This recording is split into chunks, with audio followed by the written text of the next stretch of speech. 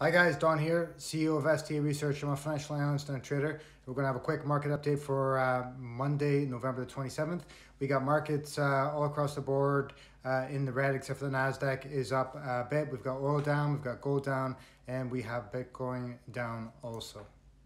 And uh, we have uh, MasterCard coming out today, and they said that US uh, retail sales on Friday are up 2.5%.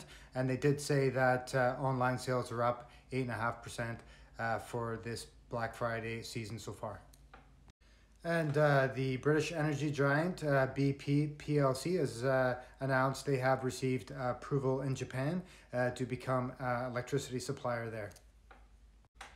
And 2,000 workers at Canada's Discount Airline have agreed to go on strike uh, for wages and uh, concerns from flight attendants. And uh, today we are tracking 109 uh, analyst ratings, a bit of a quiet uh, day because of the uh, long weekend there in the US, so data is a little bit sparse as a result.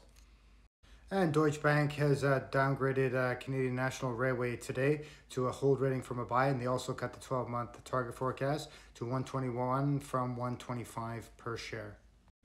And Raymond James has cut the 12 month target on Southwest Airlines to $34 uh, from $36 per share, and they did maintain the outperform rating on the stock. And lastly, uh, Morgan Stanley has downgraded Southern Copper to underweight from equal rate rating, and they have cut the 12 month target forecast down to $68 from $83 per share. All right, guys, wraps us up for Monday's trading day. Have a great day. Cheers.